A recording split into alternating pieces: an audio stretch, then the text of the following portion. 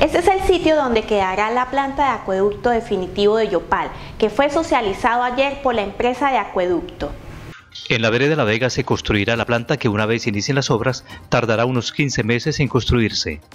El proyecto avanza en su segunda fase desde el 3 de enero de este año, por lo cual la empresa de acueducto ha solicitado el apoyo de consultores de la alcaldía y Corporinoquia para el análisis de riesgo por remoción de masas e inundación en el lugar. Las chivas del llano meten las narices en todo.